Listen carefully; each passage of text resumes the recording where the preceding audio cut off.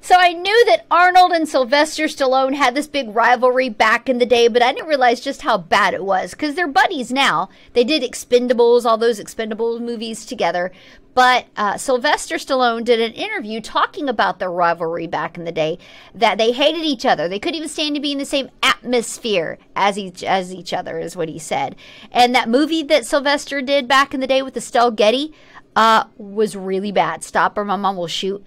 And Arnold is the one that tricked Sylvester Stallone into doing it. Arnold went around going, This is a great movie. I'm going to do this movie. I can't wait. So then Sylvester was like, Ah, I'm going to get this role. Took it from Arnold. And then when it was just crap, he said it was a total piece of crap movie. Arnold goes, Ha ha. So he tricked him into doing this disaster of a movie, which I kind of liked it. I mean, come on, it wasn't that bad. Well, this is pretty bad. Twitter has been a hot mess since Elon Musk took over. You've got layoffs, resignations, of course, the whole blue check debacle. Well, if I'm not mistaken, what this looks like is that Elon fired an engineer over a tweet. He was apologizing for just the cluster that is Twitter right now and the whole platform. So this engineer responded on Twitter saying that he was wrong some arguments back and forth. Elon basically said, yeah, he's fired. I don't know if he was joking, but Elon Musk is the boss, so it's probably legit. Well, this is legit. Uh, Britney Spears, there is video of her auditioning for a certain blockbuster movie. And back in the day, she even talked about auditioning for a certain movie that she thought was just going to be fantastic. What would excite you now? The next step for you? What would excite me? Yeah.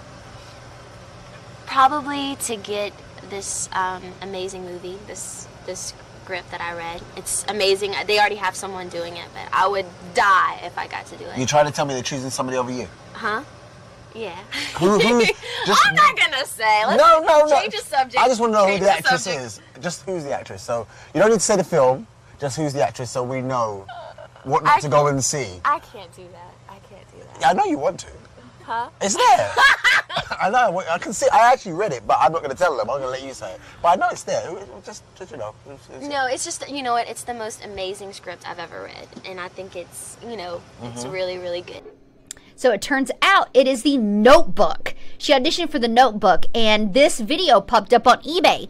Starting bid a million dollars. And the whole description is here it is officially rare Britney Spears auditioning for the notebook, one of a kind original. The notebook made Rachel McAdams a star. Little does anyone know Britney Spears also auditioned for the role. It's a never before seen until now, and it was recorded on April 18th, 2002 on Sony HI 8mm.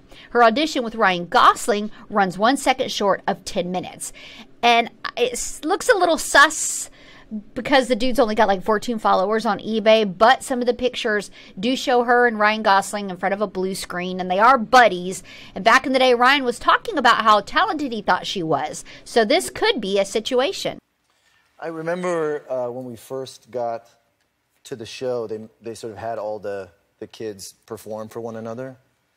And it was sort of, I remember it was Christina Aguilera and then, and then Britney performed. And I remember thinking, oh, okay, so they're like freakishly talented. So it looks legit. Is someone going to pay a million dollars for it?